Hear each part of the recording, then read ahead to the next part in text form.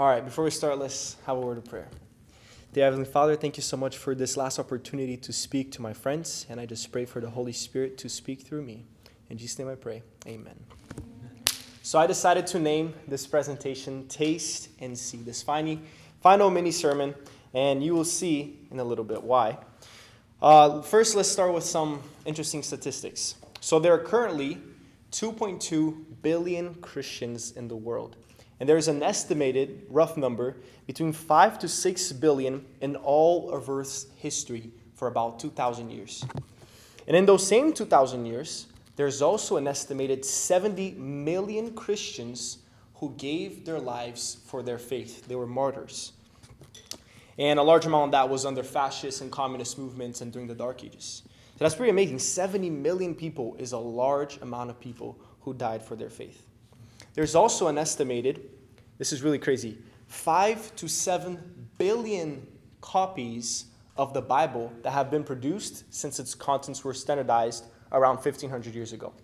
And around 4 billion of them were in the last 50 years. As you can see in this graph, it is absolutely killing competition. Sometimes they don't even include it in these charts because it's almost an unfair comparison to the other books. But 5 to 7 billion, pretty big gap, very large number, kind of hard to be precise on it. But that's a lot of Bibles produced. The Bible is also the most persecuted and attacked book in the history of the world. So many different stories that we can talk about that. And yet, the Bible has been transforming and has transformed billions of lives every single year in every single century in every corner of the earth. And nevertheless, many people still claim that the Bible is a hoax, that it was conspired for the manipulation of the masses. And all these statistics should make you wonder did tens of millions of people give their lives for a lie? Were billions of dollars spent to print a lie?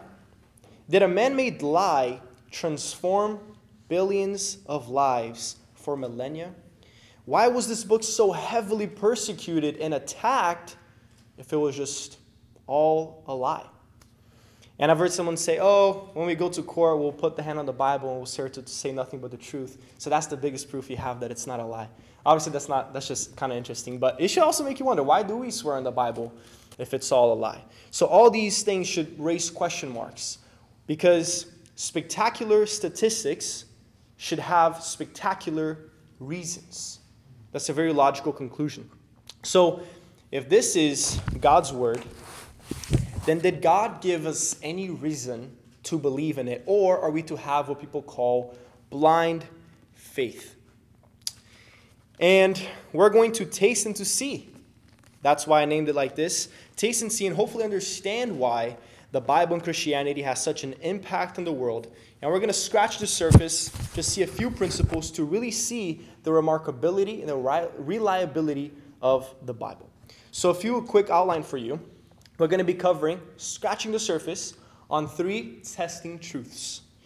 First one is Did Bible prophecies come to pass? Second one is Was Jesus' successful ministry a hoax? And the third one is the Bible God inspired or man conspired? So, tackling the first one, did Bible prophecies come to pass? And we're also going to analyze the Bible claims about it and see if it aligns. That's the goal of this presentation.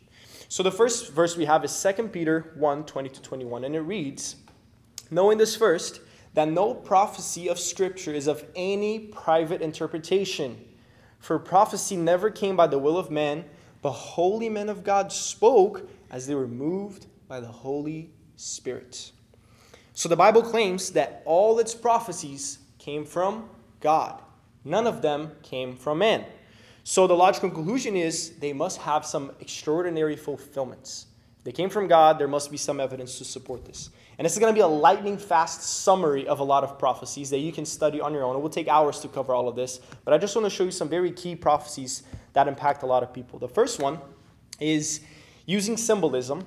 Daniel chapter 2, 7, and 8, and some other biblical references they accurately prophesied in astounding detail the sequence of governments that would have come to pass, three of them, and that the fourth one would be divided and never again reunited.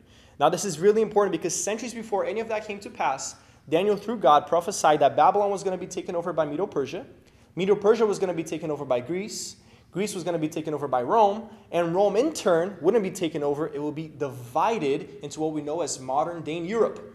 And despite the efforts of people like Hitler, Mussolini, Stalin, Napoleon, who all tried to reunite Europe, they all failed because of this prophecy. Very amazing. Daniel chapter 7 also accurately prophesied the, the exact length of time that the dark ages will last. The exact amount of years of the time that God's people will be largely persecuted, that was all prophesied centuries before the dark ages came to pass. Isaiah 45, this is very interesting, prophesied a person who was going to take over Babylon by their legal name a hundred years before they were even born. Isaiah 45, verse 1 to 3 says Cyrus, and it spells out his name C Y R U S. And it's Cyrus the Great, huge historical figure that you can research about. And the Bible prophesied him by his name and what he was going to do a hundred years before he was even born. Then in chapter 9 also accurately prophesied the exact calendar years that Jesus was going to be born, that Jesus was going to be crucified. I'm sorry, that Jesus was going to be baptized, sorry, and die over centuries before it even came to pass. And the book of Revelation is also packed with dozens of other prophecies that will take us years and many months and hours to study. And then to wrap up, the Old Testament includes over 350 prophecies, not 350, more around 360 something, but over 350 prophecies of Jesus' exact birth, life, and death, and all those circumstances to the utmost precision. And this was so mind blowing that a mathematics and astronomy professor called Professor Peter Stoner in the College of Pasadena, with other 600 students, they made very conservative, conservative calculations to arrive at the conclusion that a single man fulfilling just half of all those 360 prophecies, just half, not even all of them, will be theoretically impossible. Now, he uses different measurements and analogies to explain how improbable this is, but it's literally almost impossible. So, this is all pretty remarkable. And moving on forward, speaking, you know, about Jesus, what claims does the Bible make regarding his life and his successful ministry? So the second testing truth is Was Jesus' successful ministry a hoax? The Bible claims in Isaiah 9 6 to 7, it says, For unto us a child is born, unto us a son is given, and the government will be upon his shoulders, and his name will be called Wonderful, Counselor, Mighty God, Everlasting Father, Prince of Peace. Of the increase of his government and peace, there would be no end. Upon the throne of David and over his kingdom, to order it and establish it with judgment and justice from that time forward, even forever. So, from the establishing of Jesus' government, even forever, there would be no end. Now, this is a pretty big, bold claim. Because if Christianity and Jesus' government that he established on earth would have crumbled or fallen just even once, this wouldn't have come to pass. So it's also a prophecy. But look at this Jesus is perhaps one of the most data and research proven historical characters. And even the largest atheist organizations will claim that it is pretty much foolishness to say that Jesus wasn't alive and that didn't die on the cross. Those are the two things historically that they know for sure happened. And there's a very famous movie called The Case for Christ, as you can see here in the picture, which is based on a book, which is based on a real person called Lee Strobel. And highly recommend this movie. He was an astounding, starching atheist for his entire life. He was an alcoholic, had problems with his marriage, and he went on a quest to try to disprove the resurrection of Jesus. And he thought he was going to do it in a week, so it's going to be easy peasy. Took him two years to arrive at the conclusion that, wow, there's too much evidence to deny this. Jesus did raise from the dead. He turned a Christian, stopped being an alcoholic, and became a good father and a good husband. Powerful, powerful movie of someone who thought it would be so simple and was completely bombarded with evidence in favor for Christ. And consider this Jesus wrote no book, he had no status position with the church or the government, he had no formal education, he had little money, he never led an army. And in only three years, think about this, in only three years, completely changed the world and split time in half. How do you do this? Now, a lot of people have done a lot of amazing things, and Jesus is often listed as the most influential person that has ever lived. And his, his religion and his government has been remaining and has had the legacy as the largest and most influential organization in the history of the world, despite much persecution and trials. So, how do you do this in only three years? Absolutely miraculous. Consider the famous trilemma by C.S. Lewis. He says this Christ was either a conscious deceiver, deluded, or divine. He's either a lunatic, a liar, or Lord. There's no escape in one of these three options. Trilemma, triple L. This is very interesting because we can use some very simple POE, process of elimination.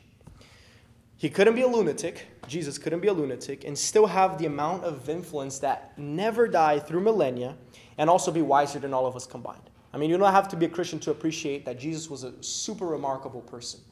And he can't be a lunatic for that reason. He also can't be a liar, because why would he lie? To be tortured, beaten, and killed? That's what crazy people do, and we already eliminated that option. And also, liars are generally found out, or they're contradicting themselves at some point, and Jesus hasn't to this day for millennia. So, therefore, he is either who he claimed to be, or we have no other logical alternative to understand it. And going to our last testing truth is the Bible God inspired or man conspired? And the Bible claims in 2 Timothy 3:16 to 17 says, all scripture is given by inspiration of God and is profitable for doctrine, for reproof, for correction, for instruction in righteousness, that the men of God may be complete, thoroughly equipped for good work. So the Bible claims that all its contents are God inspired. That's what it's saying. So there must be some supernatural evidence to support this. Same thing with prophecy, and not just prophecy.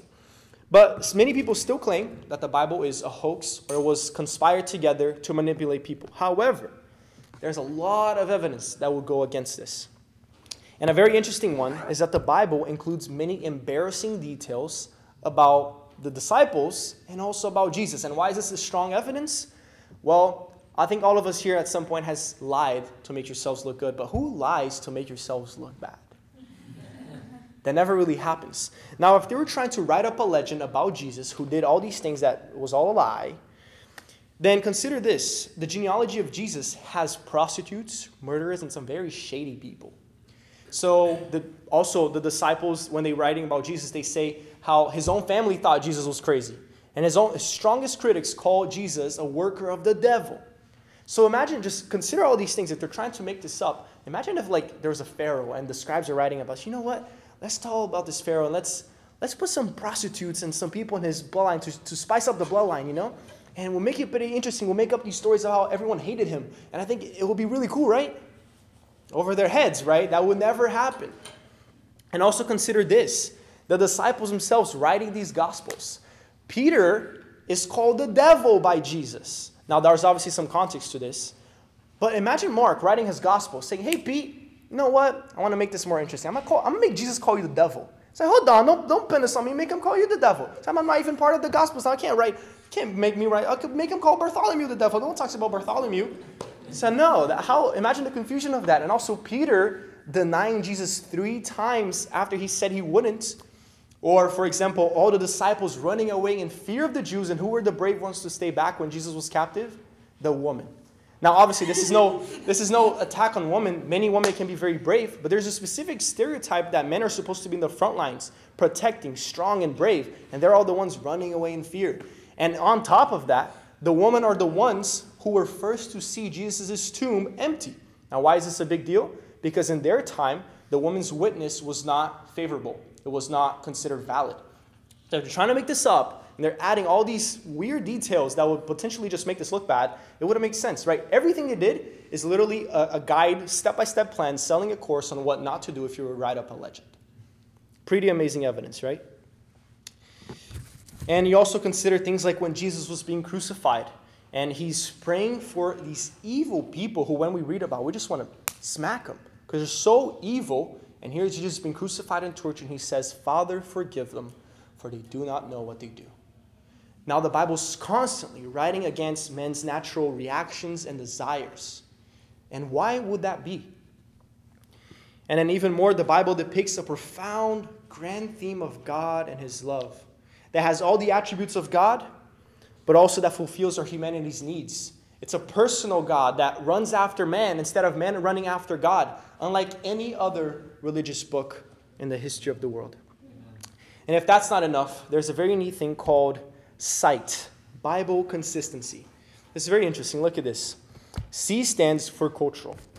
Cultural is the Bible is a cross culturally popular book in a way that no other book has ever been. If you consider that it was written by nomadic Jews and a few other authors, so how do we have Jamaicans, Koreans, and Brazilians knowing who Abraham was? It is the most popular book in the world right? It has changed billions of lives in every corner of the earth, in every era, and no other book can relate with this.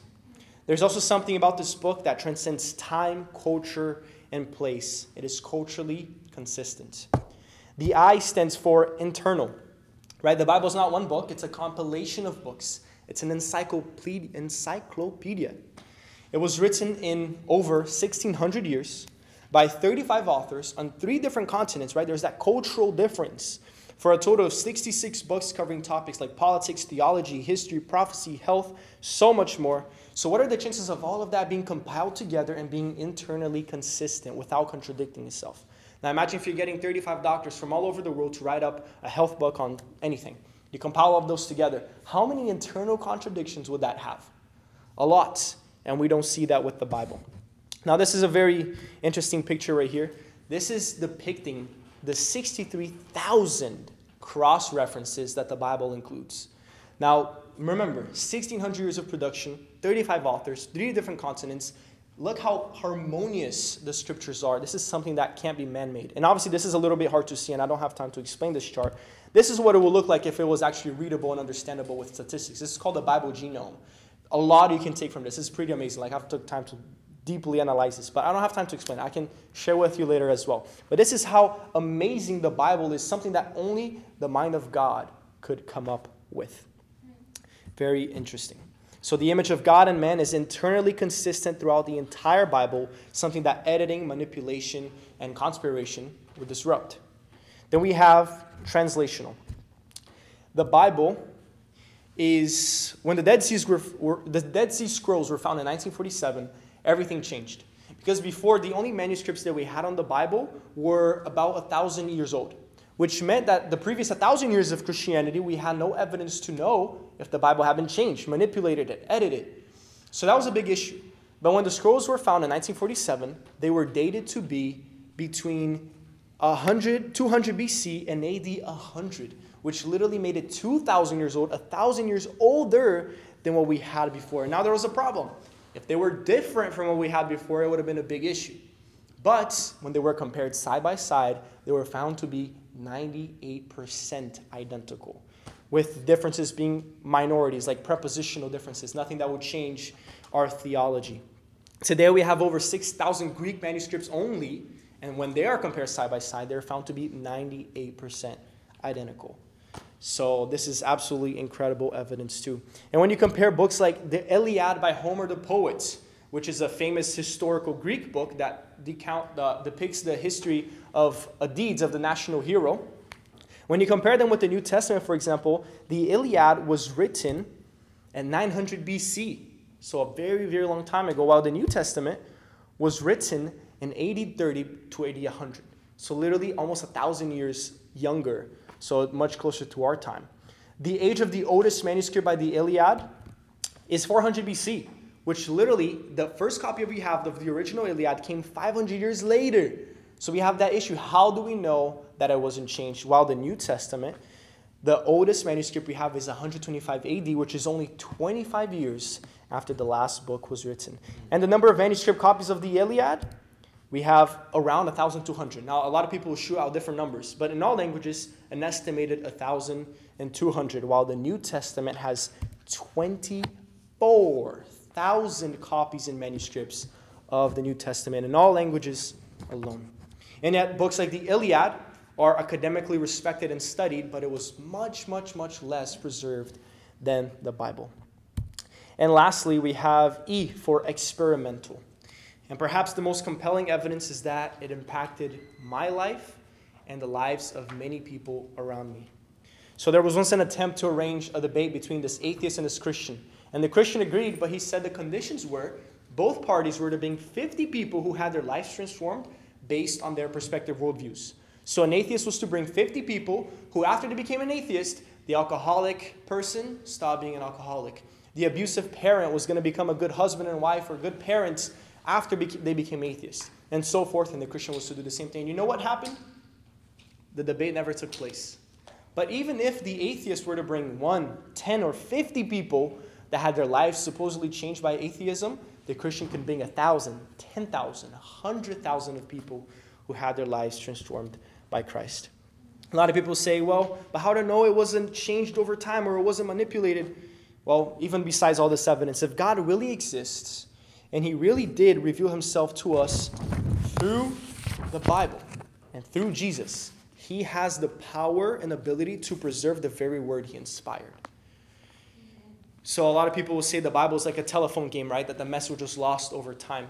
But if someone goes with the message, it can never be lost.